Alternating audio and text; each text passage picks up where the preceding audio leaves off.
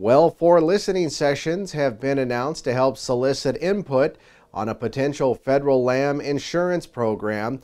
Watts and Associates has been contracted by the USDA's Risk Management Agency to help evaluate the feasibility of offering subsidized production insurance for U.S. lamb producers.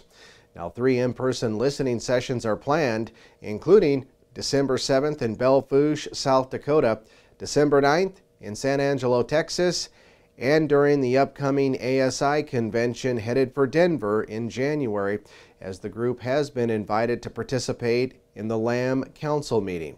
A virtual session, they say, might also be conducted, but details for such a session have yet to be determined.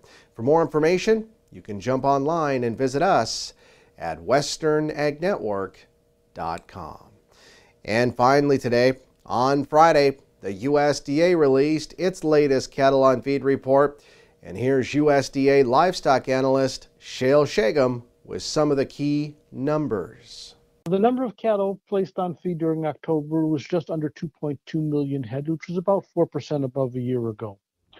Feedlots marketed just under 1.8 million head during October, which was 3% below a year ago. But there was an extra slaughter day during October, so if you adjust that extra day, we were actually 7% up below a year ago. Uh, the number of cattle on feed on November 1st was about 11.9 million head, which was 2% above a year ago. That's a look at your farm and ranch news. Have a great day. The preceding news segment was produced for MTN by the Western Ag Network.